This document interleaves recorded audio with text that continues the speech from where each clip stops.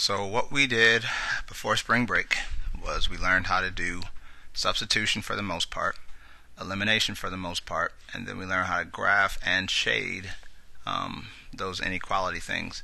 So what we're looking at this week is application problems, and I believe next week we kind of wrap things up by looking at different things that we know are going to be on, or that I know are going to be on the test to kind of get things together.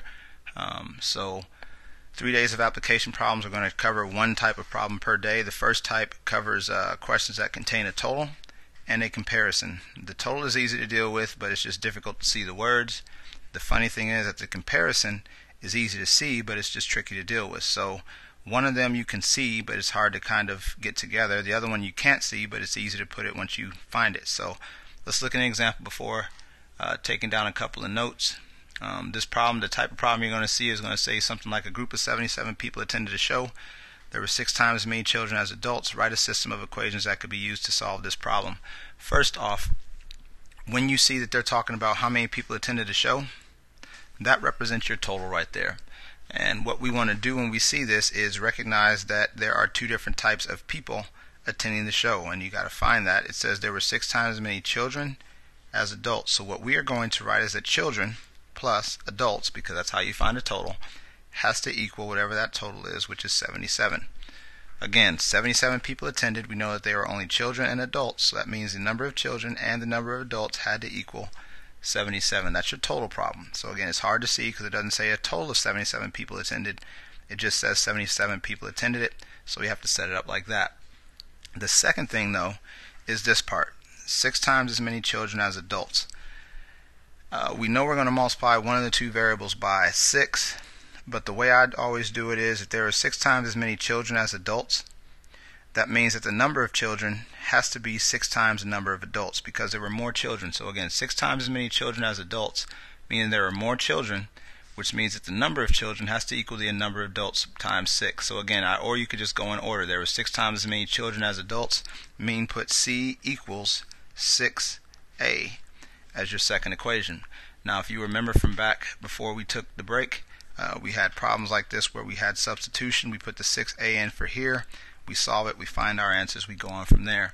So it's not going to be that hard to solve. It's just going to be making sure you know how to set it up. But notice again, the, the total was not blatantly stated in the problem, but we did know that 77 people attended. Also, again, notice how careful we had to set up the comparison and make sure that we didn't do it wrong. So the first thing we want to do is look at these comparisons. There will be Math XL questions like this. They are meant to just build your skill, not to work you to death. If you're having issues with these questions when they pop up, please come up so I can talk you through it and get you used to it. But once you get used to it, the problem becomes easy. Uh, the first one says there are six times as many boys as girls. So again, six times as many boys means that there were more boys. So we're going to use B for boys equals, if there were six times as many, it'll be 6G and that's all we have to do. Six times as many boys means that there were more boys, so we're going to do six times the number of girls would give you the number of boys. For example, if there were 10 girls, there should have been 60 boys. Look at this, take the 10, plug it in here, 6 times 10 is 60, so it works out that way, the way we need it to. If a statement said there were 9 times as many men as women, the first off thing you want to understand is there were 9 times as many men, which means that there were more men, so you put M equals, and of course we use W for women, but there were nine times as many men, so we put 9W. We have to make sure we use uh, variables that make sense in terms of what's going on. There were four times as many cats as dogs. Um, four times as many dog. I'm sorry, dogs as cats. So four times as many dogs means the number of dogs is higher. In order to make it match, we're going to take the cats and multiply by four. And so that is one of the things again you're going to see uh, on this Math XL just to make sure you know how to do it. Again, don't just rush through it trying to make the grade. Make sure you're actually trying to figure it out because that is what you need to know for your test. In the end, uh, we have to be able to solve the problem. And so another thing you're going to see on here is it's just going to say solve the equation. And again, we saw this before because this is substitution. It has a m equals 4w. Remember that we used to do the box and switch, so m is equal to 4w, which means I'm going to put another box around this m. That turns into 4w plus w equals 20. That makes 5w equals 20. And when you divide by 5, wrap that up with w equals 1. Take this 1.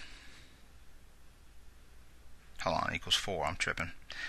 Take that 4, plug it in for W, so we go back to M plus W equals 20. Take the 4 and put it in for W, so M plus 4 equals 20, which means that when I subtract 4 from both sides, M is equal to 16. So the number of men would be M equals 16, W equals 4. That would be what we are looking for in that. But again, the basic idea is we are substituting. Once I see M equals 4W, put that in for M and finish the question up. Looking at example B. B plus G is equal to 126. G is equal to 6B. So again, this is your variable is by itself. This is what it's equal to, and we are going to put that here because G was what was by itself. And we end up with B plus 6B equals 126. These two things make 7B equals 126. Divide both sides by 7. And you end up with b is equal to 18. Take that, plug that in for b, so b plus g equals 126. Turn that b into 18 plus g equals 126. Subtract 18 from both sides to find out what g is. and you end up with 108. And again, that's what we're going to have. B is equal to 18, G is equal to 108, and that'll be it. So it says today's Math XL will have each type of problem. You will be asked to translate a comparison, which is what we did in the beginning where we um, took it and put the total number and the other part. Uh, just be sure to use meaningful variables. So if they say cats and dogs, use C and D. If they say men and women, use M and W. If they say sweaters and vests, use S and V uh, for V for vest. So just make sure you do that, otherwise the computer is not going to recognize it. Uh, you will be then asked to find two equations. Um, next, you'll be asked to solve the system. Uh, so again, that's part of what we did there. And then the final questions are going to ask you to do the whole thing. And so before we move to Math XL, let's look at a whole problem completely to make sure you understand what the last two questions are going to be like on your Math XL. And again, once you get to the last two questions, you should be okay because you obviously understand everything you need to understand. Uh, this one here says a group of 112 people attended a movie. There were seven times as many children as adults. Write a system you could use to solve a problem and then solve it to find the number of children and adults in the group. So the first thing we recognize that we need to write the system. We understand that 112 people attended, and so we first off have to say what types. We're talking children and adults, which means we're going to put C plus A equals 112. Remember the total part that we talked about. The second thing it says is there were seven times as many children as adults, and so this is where our translation comes in. Uh, there were seven times as many children, so C equals 7A because there were seven times as many children as adults, so multiply seven times adults. Some things you just have to memorize how it works, and that is really just how it works. Now we have the equation to solve. So C is the variable by itself. It's equal to 7A, and we are going to put that 7A here. So we get 7A plus a equals 112. That, of course, makes 8a equals 112.